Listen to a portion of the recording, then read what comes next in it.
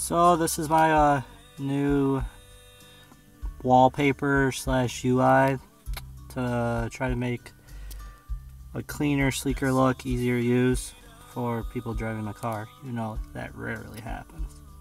But uh, so I got this idea from uh, Kookie on uh, RootzWiki. So definitely check out his um, in-dash if it'll focus. Let's see if it'll focus. Boom. Well, yeah. So check out his stuff. He is doing some pretty cool stuff.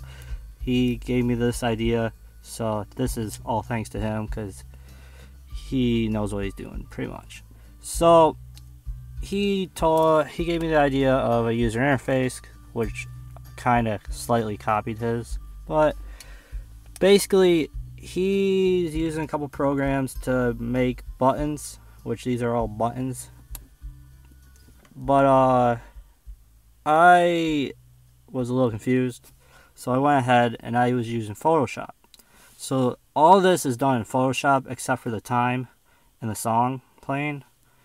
So yeah, so then I basically over all these buttons are invisible widgets which take you to these apps. So like we got volume down. Whoa, whoa, whoa, I don't have it locked. Okay. I probably should have my desktop locked, I usually do. But uh volume down. So that's pretty nice since my steering wheel controls don't work when my car's not running. Volume down, volume up. Uh, let me switch hands real quick. It's shaky, I know, I'm sorry. So we got pause. So we got pause and skip forward and skip back.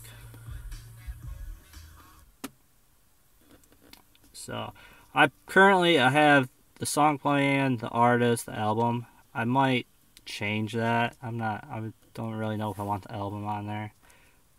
My bad. Sorry. Stay in screen. So I also got this little keyboard button because if you watch any of my other videos, you know that I'm using an external keyboard helper for my steering wheel controls to open apps.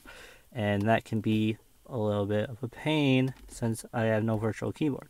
Now I just gotta flick and it probably is gonna close, but I try to click quick and then I kind of screwed up. So let's see if it saved it. I can't I'm shaking them like crazy. It's kind of cold out. So I turn off physical keyboard and I choose my other keyboard. Now when I pop up Chrome or something, let's go Chrome. I have a virtual keyboard again. Man, I don't know if I gotta restart my tablet. I got too much going on. Sometimes it's a little slow. Might have to maybe look into overclocking.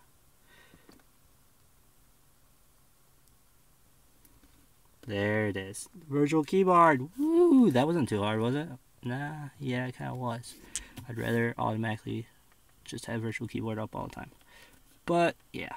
So, got that, and then you got your equalizer. I just kind of downloaded this and thought I should probably put some time into messing with it. But, yep. And uh, we got Poweramp. So Poweramp's gonna open up.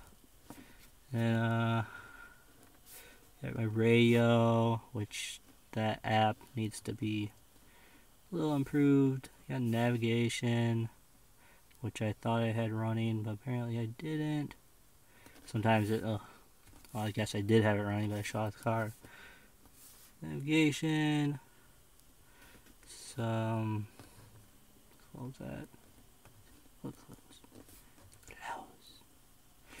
Um, torque, car ain't running, so I don't know if it'll even connect. Uh, Google Voice. Well, yeah. Search Michigan Tech, which I don't know. Whoops, that's the horn. I don't think my microphone's working. I might have screwed something up because it's not sensing me talking out, even though it's behind the dash trim. So that's um, that's that. Oh, you got weather, which can be handy since I travel a lot. I can just have it go in. Well, I can just click on it, pull up the map, have the map, see what the weather's like Apparently the weather's pretty good. Which is nice since we've been getting so much snow. But I like snow because I snowmobile. So yeah, doesn't bother me. So this is another thing I kind of wanted to get on top of is I have my tablet set to automatically tether Bluetooth for data for internet connection.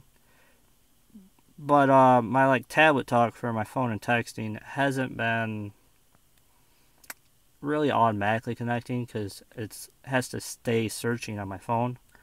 So what I I set up Tasker on my phone, so when my tablet tethers to my phone, my phone will start up Tablet Talk and it'll search, and then it connects to my uh, car automatically. So now I can just easily like if I'm driving, just oh hey let's call my mom or something, and just click and then grab my phone and I haven't called anyone. I haven't used it. But then you got your texting. I get a pop up when I get a text, so I just know what's going on. Don't necessarily have to text and drive, but uh, good to, I guess, know what's going on in case something important. So, yep, that's my new user interface. Uh, I might mess with it a little. I don't know. I'm not really sure.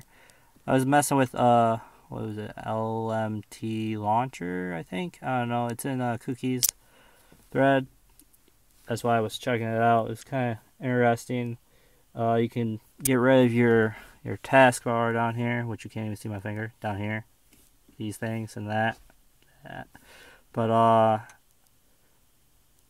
I don't know. I like I like having my clock. I guess even when I'm in other apps, I like to be able to see what time it is even though on my main screen I got a huge clock, but I don't know, I just, I feel like this might be easier for me, but definitely check that out, give it a try, see what you think, and yeah, this is my new interface. Hope you enjoyed it.